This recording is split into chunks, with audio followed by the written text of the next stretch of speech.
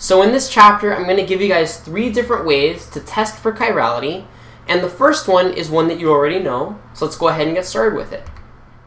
So the test is for, it's called test one, and it's the internal line of symmetry test. So what we want to do is we want to look at these compounds and see if they have an internal line of symmetry. If they do have an internal line of symmetry, then we would say that that would be an achiral molecule. You guys remember that? That basically means that it has the same exact mirror image as itself because it has that line of symmetry, so then it's not chiral. Is that cool? Now it turns out that this test is going to be kind of limited. So it's not going to be the test that we use all the time. It's really only useful for rings. Okay? And I'm going to show you that in a second.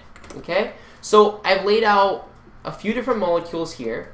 What I'd like you guys to do is just pause the video in between and see if you can draw out a line of symmetry on these molecules, okay? So go ahead and look for look at A. Just so you know, A is a 3D structure of a ring. It just means that I took my ring and I flipped it a little bit like this. You can see the front and the back, all right? Later on, I'll tell you guys what kind of structure that is. It actually has a specific name. But for right now, just know it's a five-membered ring. Notice that there's two methyl groups. So go ahead and see if you can find an internal line of symmetry. If you can, go ahead and draw it with a dotted line.